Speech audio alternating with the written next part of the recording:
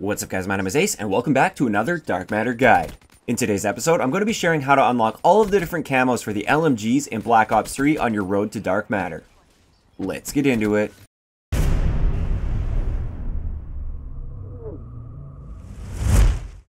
Alright guys, so I just wanted to start this off by saying, if you've missed any of the previous episodes, I will leave a link to the playlist down below. I've covered everything so far aside from assault rifles and of course LMGs, which we're covering today. So with the LMGs, just like with pretty much every other gun in the game, we have to get 100 headshots with each of the LMGs before we unlock the final 5 challenges for that LMG. For the Dingo and the BRM, I'd never really hear too many complaints about getting headshots with these, so I'll just kind of skim over them quickly. I basically just treat them like an assault rifle that aims down sight a little bit slower, and it's pretty straightforward. I definitely recommend running quick draw on every LMG pretty much every time you have the opportunity to. And for the Dingo, I also recommend foregrip if you're going for headshots. You can also put a grip on the BRM if you want, but I find it doesn't really need it. Uh, the, the BRM is going to be two shots to the body, one shot to the head to get a headshot, and the Dingo is going to be three shots to the body, one shot to the head to get a headshot. And the, with these ones, I basically just sort of aim like upper chest or neck area to compensate for a little bit of flinch or recoil. And most of the time I find the headshots come fairly easily. Also, the iron sights on both of these guns are pretty good. So I personally didn't run any optics while I was going for headshots with these two guns. But it's really up to you. That's always a personal preference sort of thing. If you are really struggling with these in core game modes, then just go into hardcore both of these will be a one-shot headshot at any range you find yourself in, as long as you're not using a suppressor. If you put a suppressor on the Dingo, it will actually make it a two-shot headshot at some ranges. Moving on to the next one, this is the Gorgon, and this is the one that probably a lot of you guys are here in this video for because I've seen lots of complaints about getting headshots with the Gorgon, and it's not easy because the rate of fire is so low, and the handling sucks as well. So with the Gorgon, I actually don't recommend going into hardcore, at least try it in core game modes first, and the simple reason for this is the aim down sight time is super slow and you can get killed like 10 times over before you can even aim down sight in hardcore with the uh, with the Gorgon. Whereas in core game modes you have a little bit more time to to do things like aim down sight. Also in core it's going to be a two-shot kill at any range as long as you're not putting a suppressor on it. Never put a suppressor on it by the way. A couple little tips First off, I kind of treat the Gorgon as a sniper rifle when I'm trying to go for headshots with it. I play very conservatively, I still have quick draw on it all the time, and I also like putting some form of a sight on it. The recon sight is great, or you can go with an ELO or red dot, whatever you feel comfortable with, maybe a Varix. And the best way to get headshots in my mind with this gun is to try and pick off people that are using cover and trying to head glitch pieces of cover or that are sitting in windows and not really moving around too much. With a really slow rate of fire, I find it very difficult to track targets, especially when you're aiming for the small target of the head. It can be very, very difficult to try and get headshots on those people. So most of the time, I'll just go for a body shot just to finish that guy off, get the kill, and I'll just focus on the people that are trying to snipe or just hang back behind cover. The nice thing about this is a lot of the times all you can ever see is their head, so all you have to do is shoot what you can see, and you're going to be getting headshots. I don't normally like recommending this sort of playstyle, but with the Gorgon, you're essentially forced into this sort of role just because the handling is so slow with it, you can't really be rushing around effectively.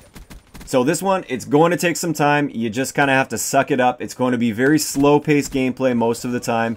But if you just stick with it, the headshots will come over time and you will get better as well. I also recommend going in Ground War for this. Ground War is great because you typically get the bigger maps. You don't get any of the really small maps like Combine and stuff, which I don't really like using the Gorgon on because your advantage really comes when you're at a pretty decent distance away from your enemy. And also with Ground War, you have lots of targets, and lots of people also like to play in that playstyle where they sit in a window or they sit behind a common piece of cover. So there's lots of targets to pick off at all times. It'll just speed up that gameplay a little bit because you're not going to be moving around, and it is going to feel very slow paced most of the time.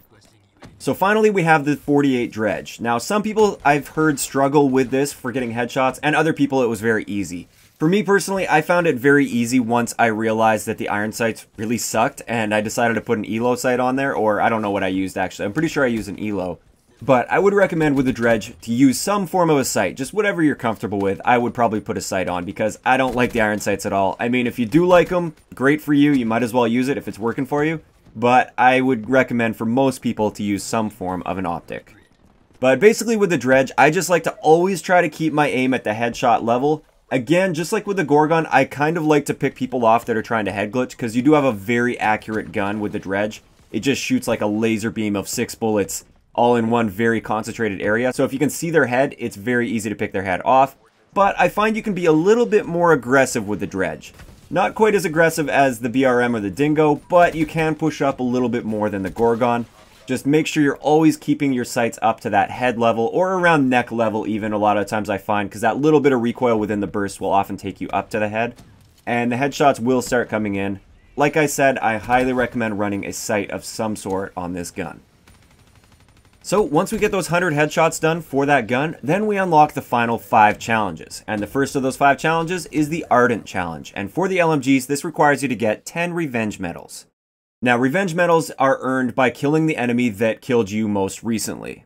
And for this one, I find they just kind of come over time as you're going through the other challenges that we're going to be talking about in a second. But if they don't and you just have these ones left over, I highly recommend going into Free For All.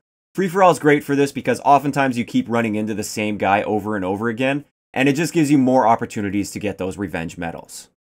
Moving on to the next one, we have the Burnt Challenge, and this one requires you to get 50 kills with no attachments on the gun. And this one kind of sucks for LMGs because Quick Draw I find to be almost a necessity, but you're going to have to suck it up and deal without Quick Draw. Big thing with this is just make sure you're pre-aiming at corners and uh, common pieces of cover and stuff like that as much as possible and play pretty defensively. At least that's how I like to treat it. You can kind of get away with rushing a little bit with the Dingo and maybe even the BRM, but even then, I'd like to be pre-aiming corners as much as possible because if you get caught out in the open and you're not aiming down sights already, ready for your enemy, you're going to be in trouble. Moving on to the Bliss Camo, this one is kind of the opposite, requires you to get 50 kills with an optic and 5 attachments, so this means you won't be able to have any perks equipped while you're going for this challenge. And with this one, I find this one to be quite a bit easier than the uh, the no attachments one because you can have things like quick draw and foregrip, and you can have an optic on there, and it's just great. Rapid fire also helps with a lot of these LMGs, so just load it up with attachments, and this one should come fairly easy. Next up, we have the battle camo, and this one requires you to get two rapid kills five times, with both of those kills coming from the LMG. And I find this one usually just happens as you go for the burnt and the bliss camo, but if it doesn't, I would just recommend going into game modes like Safeguard or Domination, or even better, Ground War Safeguard or Domination. And these ones should just come fairly easily if you are playing the objective and and trying to keep enemies off the robot or off the flag, for instance. Just make sure you're getting posted up behind some good cover overlooking the objective, and this will be very easy. So finally, we have the Chameleon Camo, and this one requires you to get 5 kills in a single life 5 times with that gun. Now, again, I've said this before, but I'll say it again. You could get like three kills with a gun or with one of these guns and then switch to a pistol, get a couple kills or something, and then switch back. You'll still need to finish off the final two kills to, to make five total for that life. Now, another thing I wanted to mention that I haven't mentioned in the past because I, I didn't really run into it a lot, uh, but now I've been seeing more and more people asking about it, is this life doesn't carry between rounds in uh, round-based game mode. So in Domination, for instance, if you get three kills and it's the end of the first round. You get three kills, and you stay alive all the way to the end of the round. And the round ends, and then you start the second round. You actually start at zero again. Even though you're technically within the same life, there's some sort of a bug in the game that requires you to get all five kills in one life in one round. It's a really frustrating bug, but you just have to know it's there and deal with it. Again, Rejack can actually help you with this as well. If you get three kills, for instance, with a dingo, and then you get killed and you rejack and you survive that rejack, you only have to get two more kills and you still it still counts as one life. So that's one nice thing that will definitely help you out, especially with LMGs because at a distance a lot of times you're behind cover when you go down. So you can rejack and then you can just like run away to heal up and, and regroup yourself and then you can get back in the action, which is great. One big tip with the gun that I feel like most of you are going to struggle with the most, and that is the Gorgon, is use a pistol on your class. I like to treat the Gorgon as if it's a sniper rifle. Like, I, I basically treat it as if it's a Drakon that aims down sight really slow. So I hang back, I, I might sit in a window or something like that, I'll have rejack on if I'm really struggling with this, and I will have a pistol on my class. That way if someone sneaks up on me or they flank me, I can swap to my pistol really quick and I can have a gun that's very effective up close. I can take that guy out and then I can get back to where I want to be, which is picking people off at a distance. Now, the reason I like to swap to a pistol is the Gorgon is just terrible up close unless you're already pre aimed and you're ready for that guy to come around the corner, which oftentimes you don't really have enough time to react to. You just realize, like, oh crap, there's a guy right there. You can quickly swap to your pistol, spin around, kill the guy, and then just get back in the fight. Another thing is, if you are really struggling with this, I would recommend throwing on some shock charges and trip mines to watch your back, because that's really where the threats are going to be. Now, I normally hate recommending this sort of playstyle, which is like a really campy sort of playstyle. But for those people that are really struggling and they aren't really finding any success by being uh, slightly mobile and trying to move around the map a little bit, this is simply going to be the most effective way for them to get bloodthirsties. So if you're just going for this specific challenge, there's no shame in, in running a few uh, shock charges and trip mines to watch your back. So there we have it. Once you complete these final five challenges for a gun, you unlock gold for that gun. Once you get gold for all of the LMGs, you'll get diamond for the LMGs. And then finally, once you get diamond for every gun and weapon and launcher in the game, you get the Dark Matter camo. So that's going to wrap it up for today's episode. We still have assault rifles to cover, which we will be covering in the next probably week or two. Hope you guys enjoyed this one, and I will talk to you guys next time.